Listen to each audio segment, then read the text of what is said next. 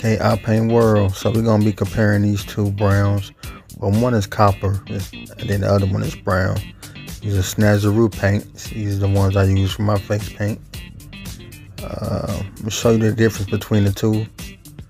Okay, so first I'm gonna get this copper. And spray a little water on there, mix it up a little real good. You see, I'm a even tone brown skin guy. I like to consider myself like a cinnamon Teddy Graham. But uh, as y'all can see that the copper is really showing up. This is a sparkly copper again. So now it's the regular brown.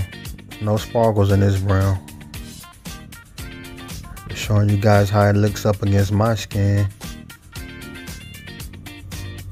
So they both are pretty good. Um, I don't know.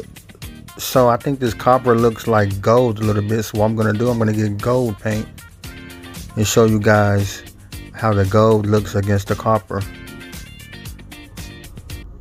Okay.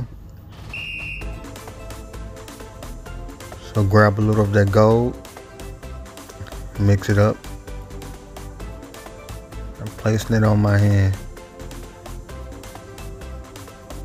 Now you can see that gold compared to the copper.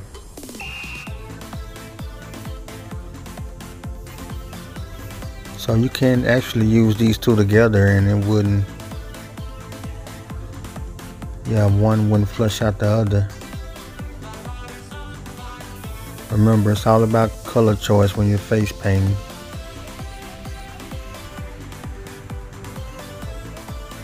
So that's gold, copper, and brown right there, you guys. The gold is sparkly as well. Thank you.